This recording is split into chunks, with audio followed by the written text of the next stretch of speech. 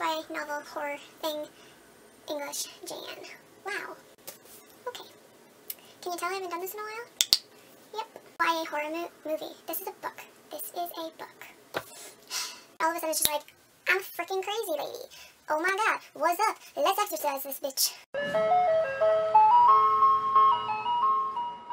Hey guys, it's Jay and today I'm here with a book review of the book The Merciless by Danielle Vega. I absolutely love this book. It was insane and totally like, what the heck did I just read?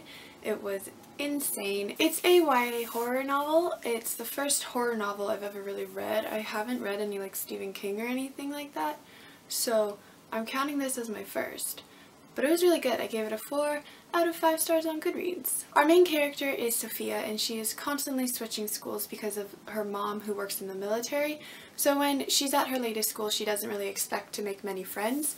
But the three popular girls, Riley, Alexis, and Grace, take her under their wings and basically bring her into the group. Another girl in the school, Brooklyn, used to be friends with them, but now the three girls have decided that Brooklyn needs help and needs to be saved. Riley, who is the head popular girl, decides that the only way that Brooklyn can be saved is to perform an exorcism on her.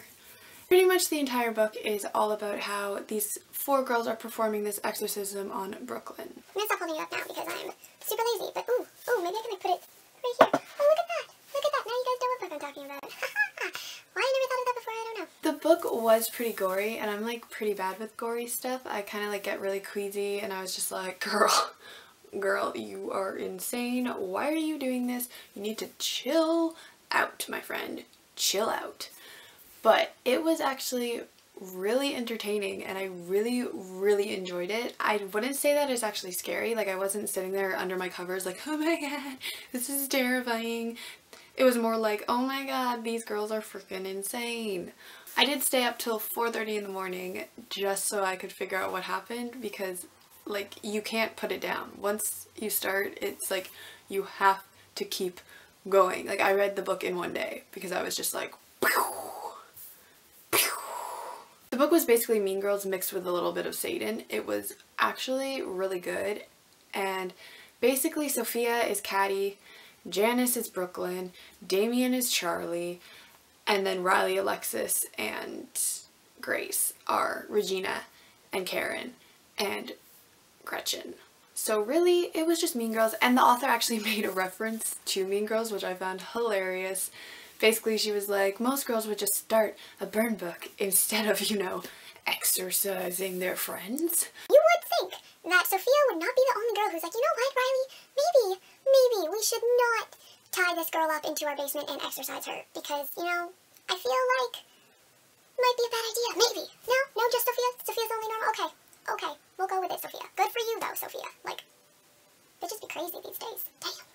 And I just thought it was funny because it's literally Mean Girls with Satan just thrown in there. It was great. It was great. I found the characters to kind of fall a bit short for me. They didn't really have any personalities. They were just kind of there. But I did like how this when the story progressed, you kind of learn more about each of the girls' past and it was it was like no personality, just like you're insane.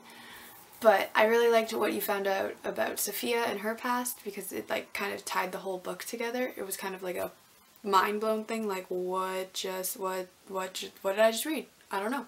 I don't know what I just read. Overall, it was a very, very fast read. I read it in one day. I found it really entertaining. The writing style wasn't the best, but it kept you on the edge of your seat the entire time, which is what I like in books. I like not being able to put them down. So that was super awesome. I did not see the ending coming at all. I was literally reading and I was like, wait, what? Wait, what? And then I was like, okay, uh, that that it can't end that way because what what is life right now? Overall, I really enjoyed the book. I gave it a 4 out of 5 stars on Goodreads. I would definitely recommend it if you are just getting into horror because it wasn't really scary. But if you don't like gory stuff, maybe stay away from it because it's kind of like really queasy.